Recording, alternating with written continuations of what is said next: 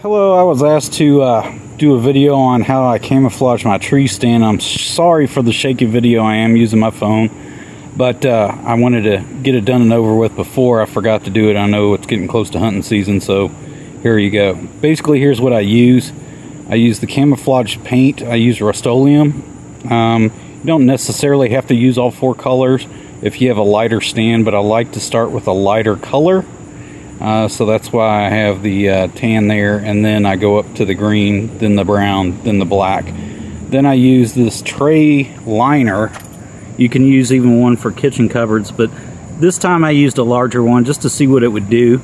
Uh, so first thing I did was I did a spray paint, a base spray paint in a light color.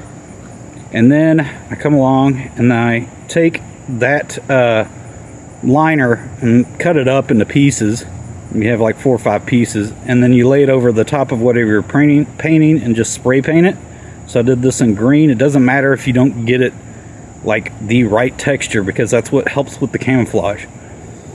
Uh, then after that you go on and add your brown color but you move the liner a different position so it doesn't cover up exactly. Uh, then after that you go on and add your black which is what I've done here but then after that, what I do is I like to touch it up with a lighter color again. And let me try and do that for you.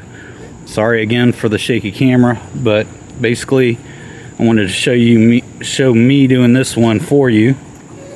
So I grab my light color.